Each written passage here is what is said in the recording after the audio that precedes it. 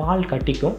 அப்போ வந்து குழந்தைகளுக்கு ஃபீடிங் வந்து டிஃபிகல்ட்டாக இருக்கும். இது எதனால் வருது அப்படின்னா மேஸ்டைட்டிஸ்ன்னு சொல்லுவோம். மேஸ்டைட்டிஸ் அப்படின்றது என்னென்னா உங்களுக்கு வந்து அதில் வந்து பால் கட்டி அதில் இன்ஃபெக்ஷன் ஆகிறது. எப்போயுமே ஒன்று ஞாபகம் வச்சுக்கோங்க. என் குழந்தைக்கு என் பால் தான் கொடுப்பேன் அப்படின்ற ஒரு எண்ணம் வந்து இது எல்லாத்துக்கும் முதல் முன்னோடியாக இருக்கணும். டைம்ஸ் ஆஃப் இந்தியா தமிழ் சமயம் நேர்களுக்கு வணக்கம். நான் doctor Pradeep paediatrician Deepti clinic Coimbatore.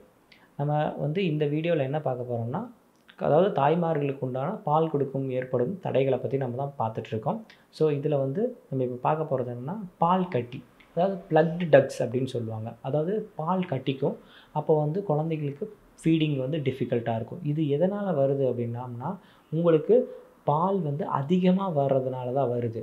நல்லா தெரிஞ்சுக்கோங்க பால் அதிகமாக வர்றதுனால தான் இந்த பால் கட்டி வருதுங்க. தயவுசெய்து இதுக்காக வந்து நிறைய பேர் வந்து பால் கட்டிடுச்சு அதனால் பவுட்ரு அப்படின்னு யோசிக்காதீங்க. பாலை நீங்கள் நல்லா வெளியே எடுத்து விட்டிங்கனாலே வந்து நல்லாவே பெட்டராகிடும் ஸோ இந்த பால் வந்து கட்டி ஆகும்போது என்ன ஆகும்னா பிரெஸ்ட்டு வந்து பெருசாகிடும் பிரெஸ்ட்டு பெருசாகும்போது என்ன ஆகும்னா நிப்பிளும் அந்த நிப்பிள் பார்த்திங்கன்னா ரொம்ப சின்னதாகிடும் ஸோ பாப்பானால் கவ்வி குடிக்க முடியாது. ஸோ இங்கேயும் இந்த லேச்சிங் ப்ராப்ளம் வரும்.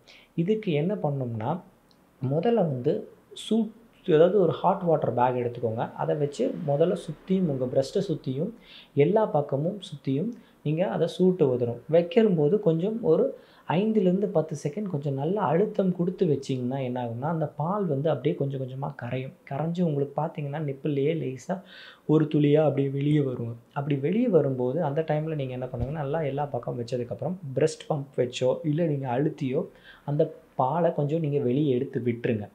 எடுத்து விட்டதுக்கப்புறம் ஓரளவுக்கு இலக்கமாகிடும் நிப்பிளும் நார்மலுக்கு வந்துடும் நார்மலுக்கு வந்ததுக்கப்புறம் நீங்கள் பாலை பாப்பாவுக்கு கொடுங்க. அப்போ வந்து ஈஸியாக பாப்பானால் க கவ்வி பிடிக்க முடியும். அப்போ வந்து ஈஸியாக உங்களுக்கும் அந்த அந்த பால் கட்டுற பிரச்சனைகளும் குறையுங்க. அதே மாதிரி இதே மாதிரி திரும்ப திரும்ப உங்களுக்கு சப்போஸ் வருதுன்னா நீங்கள் என்ன பண்ணலாம்னா எப்படி அந்த ஹாட் வாட்டர் பேக் வச்சு நீங்கள் ஃபீடிங் பண்ணி எக்ஸ்ப்ரெஸ் பண்ணி கொடுத்துட்டீங்க. கொடுத்ததுக்கப்புறம் என்ன பண்ணுங்கள் ஐஸ் வச்சு நீங்கள் ஒத்தட மாதிரி கொடுத்தீங்கன்னா என்ன ஆகும்னா அப்போ வந்து திரும்ப திரும்ப இந்த பால் கட்டுறது வந்து கொஞ்சம் குறையுங்க. அடுத்தது பார்த்திங்கன்னா மேஸ்டைட்டிஸ்ன்னு சொல்லுவோம். மேஸ்டைட்டிஸ் அப்படின்றது என்னென்னா உங்களுக்கு வந்து அதில் வந்து பால் கட்டி அதில் இன்ஃபெக்ஷன் ஆகிறது. அந்த மாதிரி சுச்சுவேஷனில் தான் பார்த்திங்கன்னா உங்களுக்கு ஃபீவர் வரலாம். இல்லை அந்த இடத்துல இன்ஃபெக்ஷன் வந்ததுன்னா சில நேரங்களில் வந்து ஆப்ரேஷன் வரைக்கும் கூட போகலாம். அதாவது சர்ஜரி மாதிரி பண்ணி அறுத்து விட்டு அந்த பஸ் ஏதாவது இருந்தால் அதை வெளியே எடுத்து விடுற மாதிரி கூட இருக்கும். ஸோ இதுக்கு வந்து நம்ம தடுக்கிறது வந்து இந்த பாலை கரெக்டான நேரத்தில் அந்த வெளியே எடுத்து விட்டிங்கன்னா இதை வந்து நம்ம தவிர்க்கலாம். ஸோ இது வந்து நம்ம தாய்மார்களுக்கு உண்டான பிரச்சனை. இதே வந்து குழந்தைகளுக்கு என்ன பேரியர்ஸ் அப்படின்னு பார்த்தீங்கன்னா ஓ அதாவது இது தான் லெட் டவுன் ஓவராக இருக்கும். சில நேரத்தில் பார்த்தீங்கன்னா குழந்தை வந்து ஃபஸ்ட்டு எடுத்து வாய் வைக்கும்போதே நிறைய பால் அந்த குழந்தைக்கு வரும். நிறைய பால் வரும்போது அந்த குழந்தனால மேனேஜ் பண்ண முடியாது. அது வந்து என்னென்னா ப்ரீத்திங்கையும் மேனேஜ் பண்ணும் அதே நேரத்தில் ஸ்வாலோவிங்கையும் மேனேஜ் பண்ணும். அதனால் என்ன ஆகும்னா ஸோ அந்த டைமில் பார்த்திங்கன்னா முதல்ல கொடுத்த ஒரு ரெண்டு மூணு நிமிஷத்தில் பார்த்தீங்கன்னா அந்த குழந்தைக்கு புறை ஏறி இதாகும். ஸோ இந்த மாதிரி இது வந்து என்ன ஆகும்னா ஆரம்ப காலத்தில் அதாவது குழந்தை சின்ன வயசில் இருக்கும்போது அதாவது ஒரு முதல் ஒரு ஒரு மாதத்துக்குள்ளே இந்த தொந்தரவு வரும். ஒன்ஸ் குழந்தை நல்லா வளர்ந்துருச்சுன்னா இந்த லெக் டவுன் பிரச்சனைகள் வந்து குழந்தைக்கு பெருசாக இருக்காதுங்க.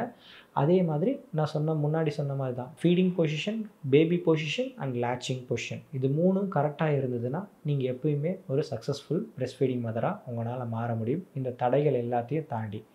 இது எல்லாத்தையும் விட முக்கியமான ஒரு விஷயம் என்னென்னா உங்களுக்கு உண்டான பாசிட்டிவ் ஆட்டிடியூட் எப்போயுமே ஒன்று ஞாபகம் வச்சுக்கோங்க என் குழந்தைக்கு என் பால் தான் கொடுப்பேன் அப்படின்ற ஒரு எண்ணம் வந்து இது எல்லாத்துக்கும் முதல் முன்னோடியாக இருக்கணும். அது இருந்தால் மட்டும்தான் நம்மளால் அந்த இதை கொண்டு வர முடியும். நன்றி வணக்கம்.